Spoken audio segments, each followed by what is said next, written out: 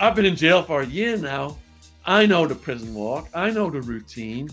So all I go into this maximum security pod in the Madison Street Jail in 2003, and you know, Max, it was mostly murderers, a few crystal meth chemists. So I, you know, I'm doing the prison walk now, walking all right, guys, today we have a special guest, Shaun Attwood. Shaun is a speaker, author, and activist based in London who's banned from America for life. As an inmate in Sheriff Joe's Arpaio jail, he used a tiny pencil sharpened on a cell door to write the first prison blog, Jon's Jail Journal. Shaun, welcome to the show. Hey, thanks for having me on, Ameer. Yeah, it's my pleasure. I, I think I first heard of you, it might have been London Real I think maybe. Um, at least for me, but what Valuetainment. Well, maybe it was Valuetainment. Yeah, I didn't. I didn't do London Real. They invited me on, Real? and then they didn't follow through. Oh, bastards! All right, guys, if you're listening, fucking invite Shaun on. What's going on, man? Like, what the fuck? you know, shit. You guys are both in the fucking UK. I know. I'm South West London. You know, there you go, man. Like fucking neighbors. But your story, story's uh, it's fascinating, very fascinating. Um, and so I kind of want to kind of dive into it. And I know you probably talked about this already before a bunch of times, but I kind of, you know, for the audience who aren't aware of your story, who aren't familiar with your background, if you want to kind of give the Coles notes of like what happened, if you want to kind of recap everything. Yeah, as a kid, I used to visit my aunts in Arizona, and I come from the northwest of England, from a chemical manufacturing town. So you can imagine going from this place where it was always raining and cold to sunny Arizona with the swimming pools in the backyards. Now, I thought, right, I'm interested in the stock market as a teenager. And I was only 14 when my economics teacher started giving me classes on my own. So there was a quarry at the top of my town on a hill called Peck's Hill. And there was a tree called the Thinking Tree. So me and my mates used to sit on this tree, the thinking tree, and I'd tell them, I'm gonna go to America, make a million, fly you guys over. You know, that was my dream. Well, I managed to pull it off. Arrived in Phoenix, Arizona, I think it was 91. Got a job as a stockbroker in the 90s. If you've seen Wolf of Wall Street, you know what that's like. Smile and dial brokers must have 20 foot curly cords and pace the room. Smiling, pacing brokers make the most money. You're only as big as your numbers are on this board for the month. It was all just like that. So that's where I saw people doing snorting coke, snorting crystal meth, getting strippers up to the office, Hell's Angels coming and threatening people. This was my introduction to the work world. After five years, I was grossing half a million. My first year, I was living off cheese on toast and bananas, barely able to pay my rent. I was worried I was going to have to come home. But by the fifth year, I've got my own staff, secretary, cold callers, only in my 20s, got enough money to retire. Put that into tech shares. Those tech shares on the stock market shot up and I became a millionaire. But there was a disconnect between my wealth and my common sense. I'm in my 20s high testosterone, no um, rational thought processes going because I'm on drugs and it scrambled my decision making processes. And it started out just throwing house parties at first, giving away drugs. You give away drugs, ecstasy, and you attract a lot of friends. Then I saw the business potential. Why, you know, be working in an office when I can just make money from the party scene? Applied my business studies degree to an ecstasy trafficking organization. And at the peak of it, I was, you know, I had people bringing 30, 40,000 hits at a time from Holland.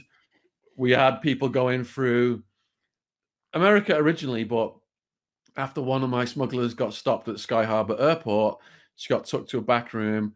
The pills were in vitamin jars. And they opened her luggage, put the jars on the table. They said to her, What are they? She said, Vitamins. They said, Cool, have a nice day put them back in her luggage. So I thought, all right, I need to come up with a new strategy. Consulted a lawyer, and the attorney said, start bringing them in through Mexico.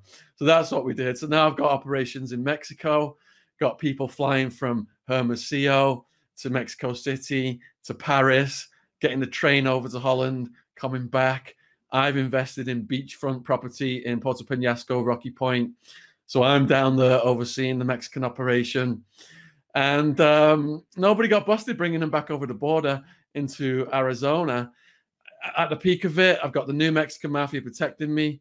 Sammy the Balls crew, they knocked the teeth out of my top sales guy. And of course, you know, down in Mexico, I had to be in with the local people down there as well. Now, I met a woman, fell in love. She thought it was dangerous. I quit the business, thought I got away with it. That was about 2001. May 16th, 2002. I'm back in college studying Spanish and back trading the stock market. Get up, get up early on the computer that day. And then that boom, boom, boom, boom, boom, boom. So I'm thinking, oh my goodness, what is this? Is it like the cops or is it someone pretending to be the cops come to rob me? Next thing they say, Tempe Police Department, we got a warrant, open the door. So I run to the window. Whole apartment complex is surrounded. Police have got guns. They're marching up the stairs with these boots on. Thud, thud, thud. Go through to the bedroom. We're like, all right, we better let them in. Me and my girlfriend get halfway through the living room, then just boom, just door flies off the hinges.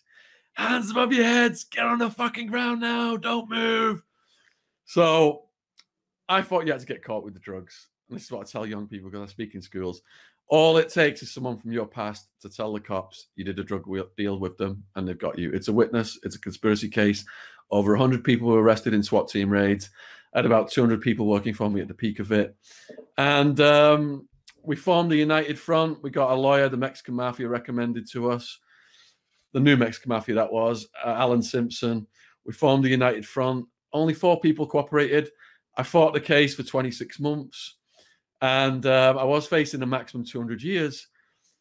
But by the end of it, we managed to get it down to a nine and a half years. So 26 months in the jail. Then I got sent over to the prison system. Then I got deported through federal uh, immigration uh, deportation. Now, while I was in the jail, I was in Sheriff Joe Arpaio's jail, like you said. This jail had the highest rate of death in America. Locked Up Abroad, Nat Geo, they did an episode on my story. They researched it. 62 people died in that jail around the time I was there. Mm. And, I, and I've got videos of guards and gang members murdering inmates in that jail on my YouTube channel. So I asked the guard, you know, how, how do you guys get away with all this? Dead rats in the food, cockroaches crawling. And they said the, the world has got no idea what's going on in here, and the public don't care about prisoners. So something snapped in my mind, and with a tiny little golf pencil sharpened on the door, I started to write everything down. My aunt smuggled it out of Mac Security, typed what I'd written up to my parents in England, in my little town, Widnes. They put them on the internet as a blog, not in my name, Jon, J O N, Jon's Jail Journal, so they wouldn't know it was me. And it went on to attract international media attention to the conditions. And that whole thing has, has transformed my life. It has sent me on this new path now of being a YouTuber, an author, a speaker. And, you know, when I was in my 20s on the drugs, hanging out with these gangsters, I thought I wouldn't even make it past 30. So I just, I just wake up with a smile on my face. Everything for the rest of my life now is gravy after going through that jail situation. I have a couple of questions. So, my first question is you know going from stockbroker wall street and then going into that world there are synergies. How like how did you just get into it? Like obviously you had someone had to vouch for you. Like how did you get connected with all these organized families? Okay so the, i've been i've been connected with these people at different stages of my life. So i could go over them individually if you like the new Mexican mafia that came about, and it's weird for you know a, a, a pale ass British nerdy business graduate to be connected with the new Mexican mafia, which is one of the most powerful organizations in Arizona at that time, criminal organizations. What happened there was I was at an apartment party supplying the E, the ecstasy, and another guy comes in and you know he's supplying the weed and the coke, and he's this tall Mexican American guy with the prison tattoos on. And we're all just chilling out in this complex. It was in Tempe. It's called Rancho Marietta. massive complex of buildings. People just listening to music, getting stoned, doing a bit of this and that. Next thing, a Tempe police officer walks in and he says, I could smell weed from outside. Nobody moved. He goes to grab his radio. I'm thinking we're all going to get busted. The guy I'm talking to, the Mexican American guy, pulls out a gun, points it at the cop, says, The only one who's not leaving is you, motherfucker. Everybody run. So we all ran off into the night. Now, I've never seen anything this heavy before. So I'm crapping myself. We've got multiple apartments in this complex that we're doing operations out of. So I go over to the nearest one with some of my friends in there. Police sirens, helicopter, all hell's breaking loose. We're like, all right, maybe they're going to track us here. Should we flush our drugs? What should we do? And all of a sudden, on the French window, bam, bam, bam, bam, bam. We think it's the cops. Someone looks out, and it's the Mexican American guy who pulled a gun on the cops. He's like, let me in. So, all right, we'll let him in. And he schooled us. They schooled me on a lot of things. And he said, look, they can't just come in here without a warrant because the dogs were coming and everything. So he says, if they knock on the door, don't answer, turn the TV off, turn the lights off. They can't just smash the door in. They'll think no one's in here. And that's exactly what happened. They knocked on the door. We kept quiet and they went next door and they just kept going around like that. So at the end of the evening, he said, Look, Shaun, because you and your friends protected me, me and my brothers have got your back. And I had no idea what that meant. So a couple months later, he says, Look, my brothers want to meet you. I go over to this uh, apartment. I'm sorry, a house and on this road, and they've got all these show rider, um, low rider showcase cars on, on the road. Um, we knock at the door. His brother answers, um, look, you know, looking up at me, and, and he's like, um, he hears me talk in the my British accent, and he goes, "Damn, you talk funny. I guess I guess you are from England. Come in and meet my homies." So I go into the living room, and there's all these massive tattooed Mexican American guys, little wife beater vests on. They got the shorts that go down just below the knees, all the prison tats and the chains, a whole range of guns in there, big guns, weighing scales, slabs of crystal meth, slabs of cocaine. And they're all looking at me like, you know, who just let that guy in here? Like they wanted to kill me or eat me. So I'm shitting myself and I'm looking around the room. There's the biggest TV I've ever seen. There's a little TV showing all the comings and goings on the street. And then on top of the big TV, I do a double take. I'm like, whoa, hold on a minute. I've seen one of them before. Where was it? Oh, yeah, it was in a Rambo movie. They had a rocket propelled grenade launcher on top mm. of their TV.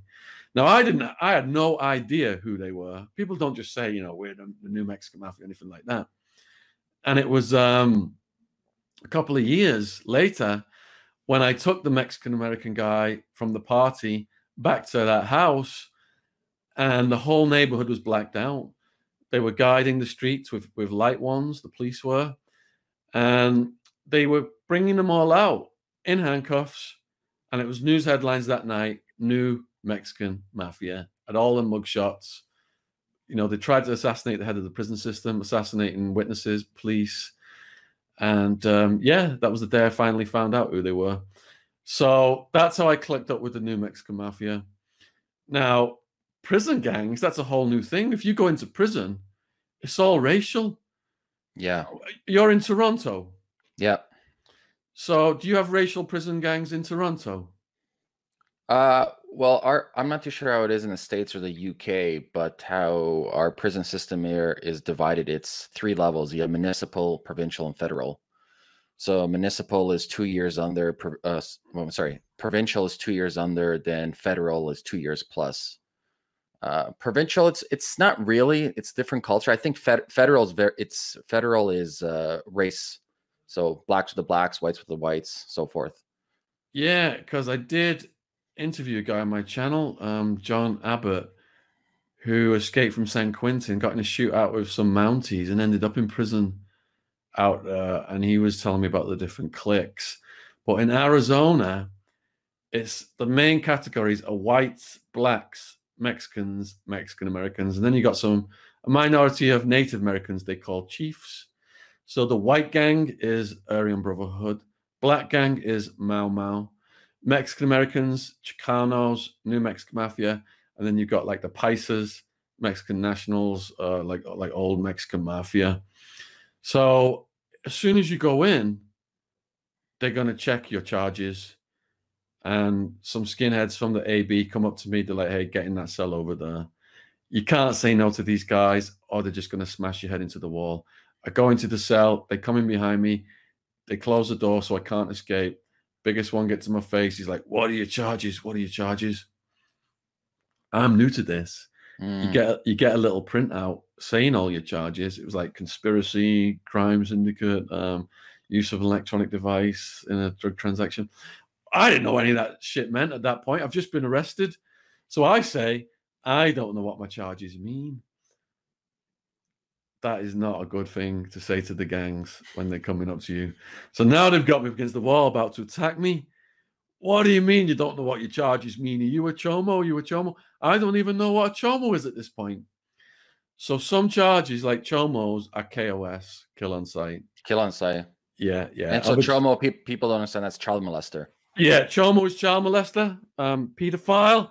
If you if you're harming women or kids, and you come into prison, they're gonna try and murder you right away, or at the very least, they're gonna give you a beat down. Yeah. And you need to walk around with your papers, like it's mandatory. You've got to show your papers. You got to show mandatory. your papers. Yeah, yeah, yeah. So, um, you know, they saw I was in for drugs. They found out about my case. It was news headlines.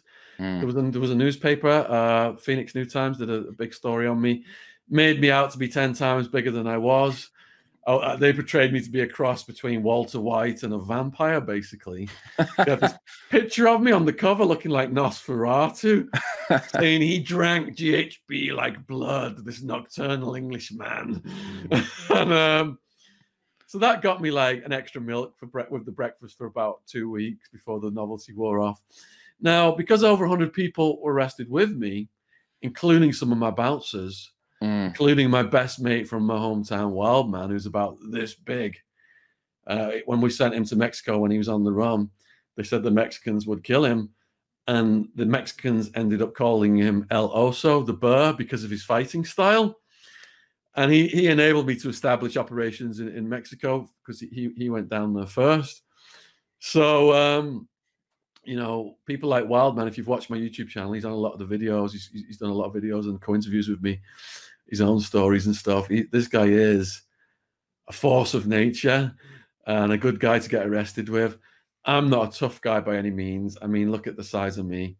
Um, but I, I used my education as my currency. You got to have a hustle. And there was there was my second year in, right? The prosecutor was really messing with me. I asked for a bail reduction. The bond was three quarters of a million cash only. Went to court, seems to have gone really well.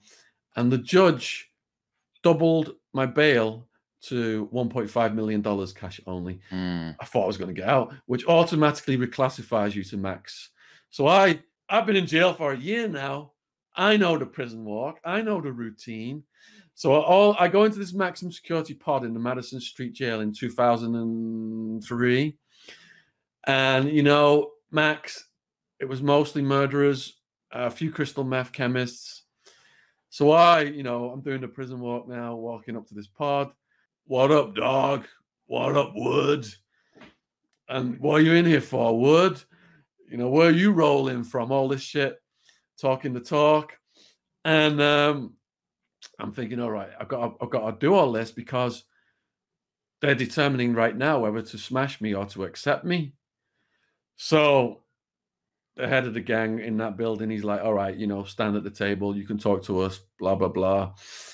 And I thought when I went back up to my pod, I'm like, my my cell, I'm like, you know, I'm shitting myself, wondering what they're going to think about me because I could see they were really trying to scrutinize me, especially because I'm from England and all that.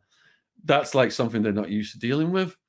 Anyway, when the head of the whites came back to my cell, he brought a file with him, all his legal paperwork. He saw right through my tough guy act. He realized I was an educated person and I was a potential resource to him. So if you're coming in, whatever skill you've got, they can see through people and they will decide what they're going to do with you at that point.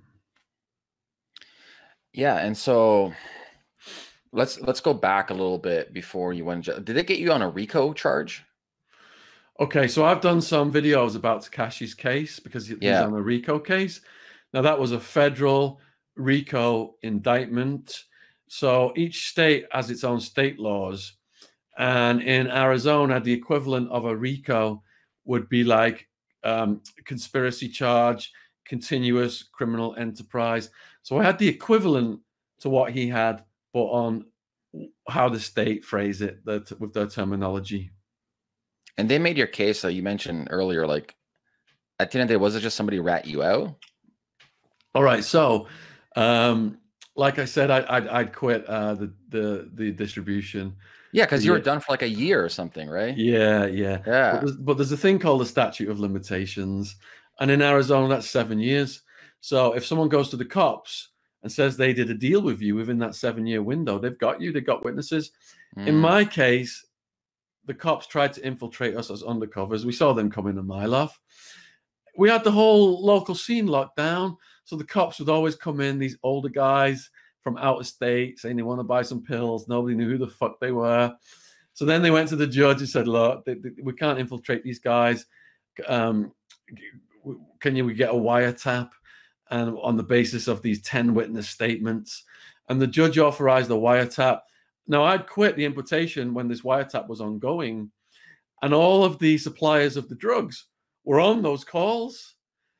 But the prosecutor said that this was my enterprise, the Attwood enterprise, and that I was still running it. Um, they, they do all these dirty tricks, and I'm not trying to make excuses for what I did. I deserve to be punished. I put myself in there for my own decisions, and it, it ended up doing me a lot of good. But there are some people uh, running the justice system who, especially you know, all these innocent people on death row. I see how evil and the games these prosecutors can play just to enhance their own careers.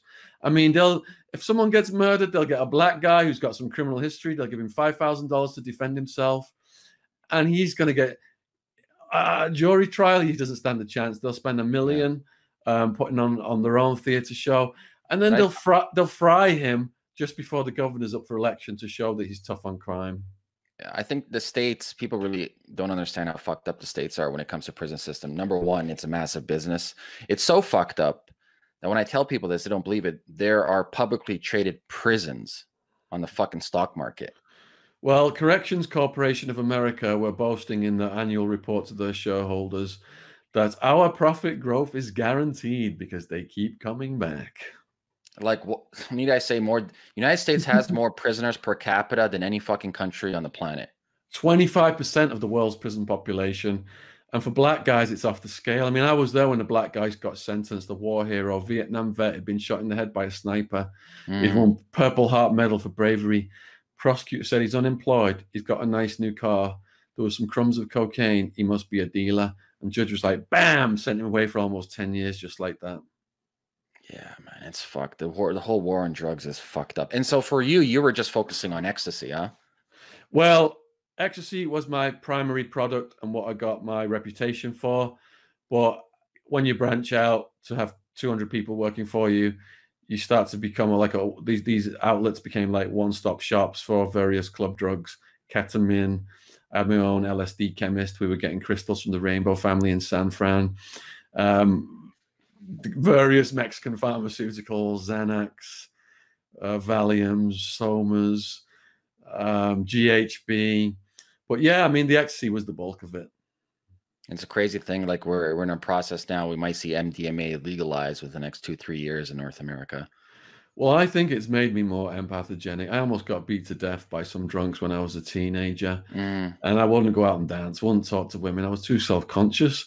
And when the rave scene began, I took ecstasy, couldn't stop dancing, couldn't stop talking to people all night long. And for over 10 years, I was in that mindset. But, you know, you just sit sit down with people and and you, you, open your hearts and tell each other your life stories. even the new Mexican mafia. I told you that every time I went over there, it was it was lethal atmosphere, and they they looked like they want to eat me. Except for Mm. the one night they said, "We're going to have an ecstasy party tonight. Our women are coming over. Most of us are doing it for the first time." I, I brought them the pills. Get a call in the middle of the night. We've run out. Bring some more pills. Brought some more pills over, and they're all over there like these sweaty, overgrown teddy bears, smiling away, picking me up, bear hugging me. England, man, we love your pills. Telling me their life stories. So yeah, it it, it- does. It, it breaks down those barriers. Yeah, for me personally, for me, like ecstasy or MDMA, it's been my personal choice of anything. And do you think that's made you like more feeling towards people? Uh, like I've been in the psychedelic scene for a long time. Uh, I used to pop ecstasy when I was young, like crazy, like double stack, triple stack, Mercedes, you name it. I was in the rave scene long fucking time. I was raving before. Mitsubishi's. Oh yeah, Mitsubishi's, white Mercedes, blue telephone, double st- single Yeah. stacks, double stack, the whole nine yards. Where were you raving at? Fuck Toronto, man. We had a huge rave scene. Oh, back in the day. imagine you must have had a massive scene in Toronto. massive massive like the 90s like uh, mid 90s even like early 2000s it was uh, crazy way before the whole like uh electronic music festival that you see today it was like real raves raves Yeah. but for me me currently i do mdma therapy like pure 100% guided facilitated mdma therapy you do that presently. yeah yeah i do everything uh, mdma uh, ibogaine um psilocybin like full And, on and what's the legality of that in Toronto? So ketamine is legal in facilitated uh, uh, medical establishments. There's lobby groups right now where we might even see within the next 18 months that MDMA is actually MDMA psilocybin is already sanctioned for research in certain laboratories here. Uh, we're part of the super cluster, so UFT is researching all these. Uh, MDMA is not a, psych- a psychedelic, but I'll just group it in there for the sake of the conversation we could potentially see within under two years MDMA psilocybin be completely decriminalized and then put in the category of um, use with medical treatment. Yeah, I think all drugs should be completely legalized and decriminalized. Yeah, and but then there's no- then there's no the- end the- business. End the war on drugs. people who want the drugs to be kept illegal are the gangsters and the people chasing the gangsters because, like you said, it's big business. I always say if you want to like if you want to make things better in North America, specifically with the cartels in Mexico, legalize everything. Better the whole world, man. Everything from knife crime in London to Juarez being the murder capital. A lot of that revolves around gangsters competing for that black market profit. And I learned this writing about Escobar. I've written several books about Escobar. I'm writing the longest book ever about him presently. It's, it's over a thousand pages long, Pablo Escobar's story. Two, the first two installments are out. But he could get coca paste for $60 a kilo in the 70s when he was starting out. And because of drug laws, cocaine was going for 60,000 a kilo. Jesus. So making worthless plants illegal has made those worthless plants more valuable than gold. And it's the- been the mm-hmm. biggest profit opportunity in the history of the world for criminal organizations. Yeah, I, I was reading a fascinating uh, deep dive study in Mexico where the cartels have taken over avocado plantations because the profits for avocados are uh, better than some other forms of drugs, which is it's it's interesting. But yeah, you're right. I think it's an epidemic. Uh, you know, what I mean by epidemic is it's funny because uh, at least for Ontario, so where the province I'm from, by by the scripts written by doctors, and so this is all documented. Uh, we have one third of Ontarians who are prescribed some form of opioids, so oxycodines, etc. Now that's one third of the population is on a script, but you can take something like CBD, or you can take psilocybin, or you can take hemp, or you can take any of these non-addictive two three time use and you're completely alleviated of your pain but the problem with that is it's not a sustainable business model like opioids are highly addictive you got to buy them every single month so it's like the writing's on the wall, man. People have to say it's always funny when people tell me it's like, "Oh, you taking a drug?" I'm like, "No, motherfucker. What do you think you're popping? You're popping. You think your Advil and Tylenol every day is healthy? You think your fucking oxycodine's healthy? Or you must be fucking delusional." Like, uh, I mean, at the peak of the war on drugs, you had hundreds of thousands of potheads going to prison. What gives the right of people who are popping all those pills you just mentioned and smoking tobacco and drinking alcohol? What gives those people the right to put hundreds of thousands of people in prison Yeah. for choo- choosing weed? That is moral relativism. That is not what the prison system was designed for. I'm a member of LEAP, Law Enforcement Against Prohibition. They're cops, and they say, look, we joined to put away the bad guys. And if you look how crime has been defined for millennia, person A harms person B, murder, robbery, rape, drug traffickers like me, not making excuses for. But if you put hundreds of thousands of people in prison for weed possession, who's a person with weed hurting? Yeah. them- them- themselves possibly, but that that's the most. So yeah, it's just the whole thing is a big shakedown on the taxpayers. And you're right, the floodgate is open because these evil fucking politicians that have kept drugs like cannabis illegal. I'm not talking smoking it, I'm talking the oils. These kids that have had these cancer um, seizures and go into comas and they can die. And all the kids who've died and all the people with cancer who've died because the fucking evil politicians have kept this illegal. They can't go up against those babies anymore, like Charlotte in America. A politician will not go up against a sick baby because they will lose votes. So the floodgate has opened and people are waking up all over the world. Queen Victoria's doctor said this is the most medicinal plant on the face of the earth. And the earliest laws against cannabis were the pharmaceutical societies of California. They wanted it to be made illegal so people could not grow free medicine in their own backyards. Yeah, Canada used to be before World War One the biggest producer of hemp because we have good weather for it and it's versatile. Then during the wartime efforts of World War One, World War Two, they started growing rapeseed, which is canola oil, which stands for Canada oil. And so the big pharmaceutical companies came in. Well, let me rewind. Before pharmaceutical companies, there were there were um, chemical companies. Then they went into pharmacy, right? So they, they provided all these oils and materials for wartime efforts. And then they made it illegal for hemp to be grown in Canada. Like think about it, a native type of well, it's not native, but native planted natively there. Uh, you can't overdose from it. Has so many benefits. You can use it as biodiesel. You can use it as CBD. You can you can get hemp strains and then make clothing out of hemp. There's like multitude multivariable usages of hemp. No, no, no, that's illegal. It's illegal. You can't Henry- you can't plant it. That's illegal. Henry Henry Ford made a car out of it. Yeah. And he said, Why are we depleting the world's resources when we've got we, we can just grow these plants and replace them?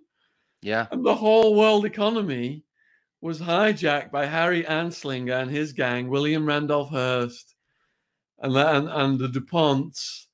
And that's shaped the whole world, that decision. Because Harry Anslinger said to everybody around the world, all the different countries, if you don't sign on for these drug laws, America's not going to trade with you. And Harry Anslinger was the uh, future uh, son in law of um, the Undersecretary of the US Treasury, um, Mellon. And Mellon had investments in fledgling pharma, petrochemicals, hmm all these other industries. So it was just one big corporate cabal that stopped it. But now, like you said, the hemp, there's, there's so many applications for hemp. Yeah. I was in I was in Holland uh, towards the end of last year, and I went to the hemp museum. I'm thinking about writing a book called "The War Against Weed." So I was doing some research, and everything I saw in there just just tied right in with what I'd, I'd been finding out on the internet. But you're right. Tides are turning. Like here in Canada, I think we're the second country after Uruguay, I believe, that we fully uh, legalized marijuana. So you can grow your own. I think like three, four plants you can grow. Uh, there's stores everywhere. There's obviously pros and cons for this. Uh, but like Portugal's a good example where they decriminalized all the drugs and 70% drop within uh, within I think it was uh, murder rates, suicide, uh, the prison system. When everything got better by just decriminalizing the drugs.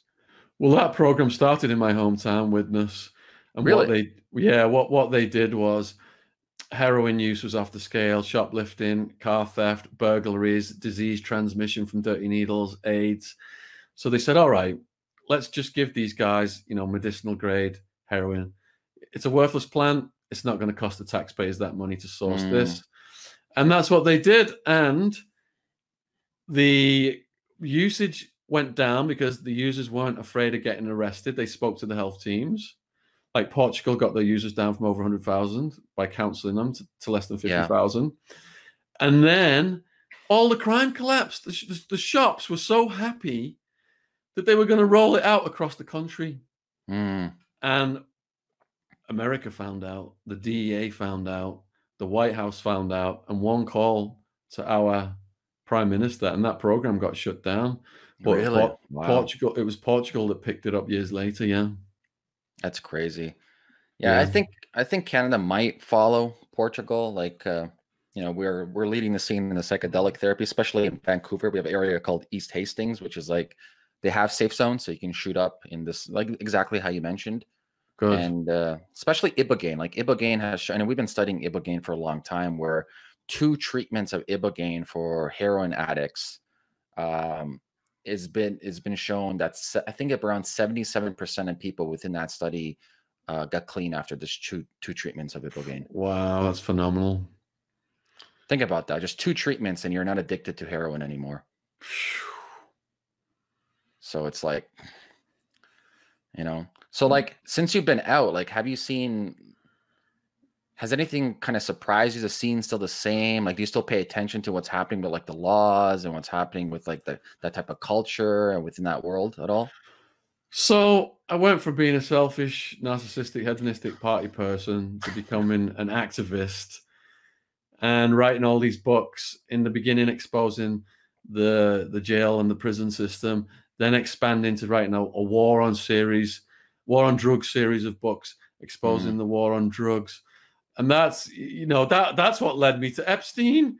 Um, was, was the international trafficking in arms and cocaine and people and this, the intelligence agencies, the CIA, the Mossad, because I wrote a book called American Made about Barry Seal. And Barry Mm. Seal, he was flying cocaine in for the CIA under George Bush and Oliver North, Bush Sr. President, I mean, Governor of Arkansas, Bill Clinton, was providing the state security for it by with the police, and and, and Clinton was absolutely on the rampage on cocaine. There was multiple sexual assault suits settled during that period of his life, and his brother, um, his brother Roger, got arrested doing a cocaine transaction, and he told the cop that some of it was for Bill, and that his brother Bill's got a nose like a vacuum cleaner. and then Bill turned around and, and locked up a record number of low-level drug users. Mm, So that's what makes me sick about these uh, hypocritical people that get in power. They are so psychopathic and sleazy. They have no morals whatsoever. They'll lock up a chunk of people for doing the exact same thing that they did themselves. It makes me sick. Well, you know, there is a psychological profile for you being a so-called politician. It's a sociopath.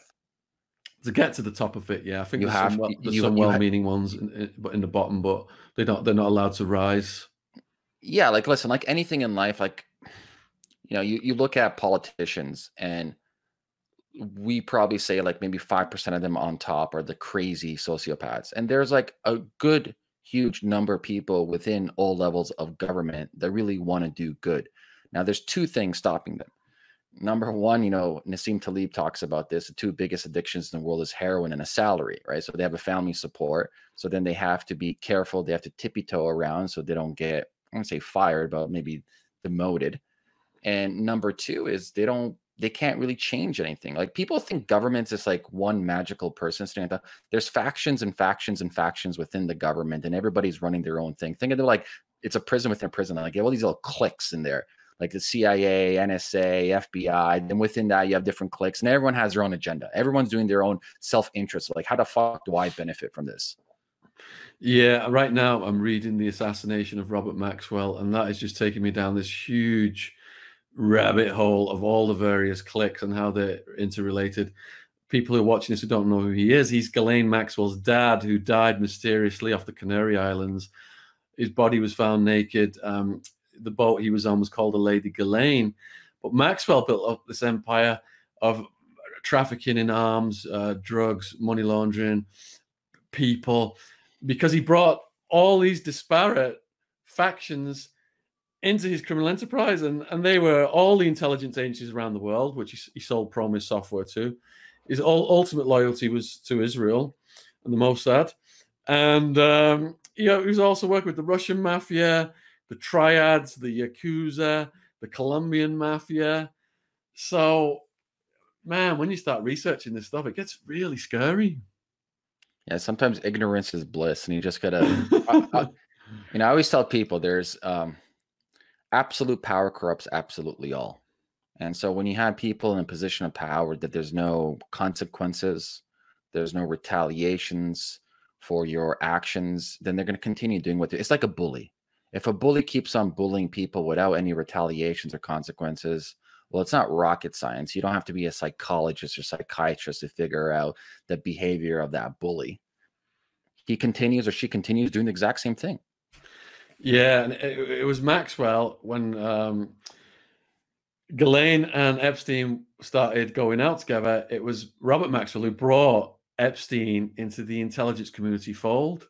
Mm. That house that Epstein was in, it was already wired up with the cameras, the house he got from Wexner, before Epstein even moved in there. So the picture is so much bigger than what the mainstream media are portraying.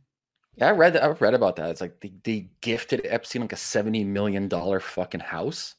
Like, yeah, Leslie Wexner, who was the guy crazy from the Limited and the Victoria's uh, Secret mm. brand, and Epstein was enticing young women and teenagers uh, on the basis that they, he could make them a Victoria's Secret model, and then he was doing these assaults on them.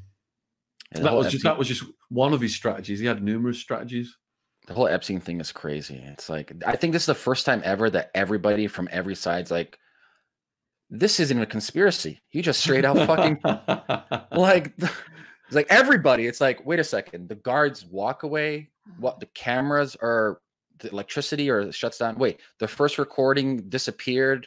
Wait a second. How did he hang himself? Where are these marks? Like, like all of this just happened. And it's like it's pretty like blunt of them to just do it. Like, fuck it, we're just gonna do it. In the whole history of the Metropolitan Correctional Center since it opened in 1975, there's no record of two guards ever falling asleep simultaneously. It's crazy, man. It's absolutely. I heard that right now. I just read on Twitter, like the British Virgin, the British Islands, they are also putting a charge against Epstein estate. Good. Did you guys watch the uh, Prince Andrew interview on the BBC where he just lied no, his heart off? He tried to deny everything, but he he said he he couldn't possibly been in a nightclub sweating because he doesn't sweat because of his battlefield experience. And then instantly on Twitter, all these pictures showed up of him sweating. Yeah. He says he doesn't go out in casual clothes in central London. Instantly on Twitter, all these pictures of him in casual clothes in central London. He doesn't party. all these pictures of him partying. says he was at Pizza Express Woking Mm. Well, which closes at 10.30. Club Tramp opens at 10.30. So nothing he said made any sense at all. He completely ruined his entire career here in the UK. Mm. He has mm. had to he's had to quit all everything that he did, all his charities, all the work. He's he's had to quit everything. What's your take uh, since you're in the UK? What's your take on this whole uh what's it? Is it Prince Harry that's uh stepping down from the royal family? Yeah, I mean, I've interviewed David Icke a couple of times. Mm and we talked about the assassination of Lady Di. Yes. And there's various theories that about, you know, was she pregnant with Dodi's baby? Um, did the royals have her taken out for that reason or for another reason? Because, you know, she went on TV and said that Charles wasn't fit to be king. Whereas Fergie, she was being more conciliatory during the breakup because she felt that she had to put on a front for the kids. Di was like getting on national TV and just calling the royals out. So there's various theories as to why she had to go. So can you imagine being a child of hers and maybe reading this stuff or watching this stuff or how, how that's going to impact you as you grow up? And if you're seeing things, you're on the inside, things that probably his mom didn't approve of, you could probably see how her mind started to turn. So I think he has carried the spirit of his mom. He's Mm. gone. He's, he's he's seen what's rotten in there because he, he can see things that the rest of us can't, and he doesn't want a part of it. That's interesting play out. They're moving to Canada here in Vancouver. Yeah. Well, it's convenient for Prince Andrew because that has swamped the news here in this country.